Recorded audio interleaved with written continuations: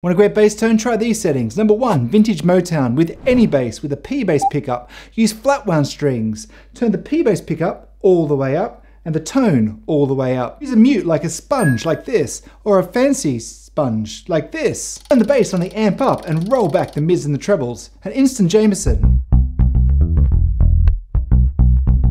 For a Jaco-like tone, if you have a jazz bass handy, roll the bridge pickup all the way up roll back a bit of the tone, and on the amp, keep everything fairly flat. And with an active bass, whoops, for that Marcus Miller type slap sound, keep all the knobs in the middle. Use a set of fresh new round wound strings. And on the amp, cut the mids for that scooped mid sound.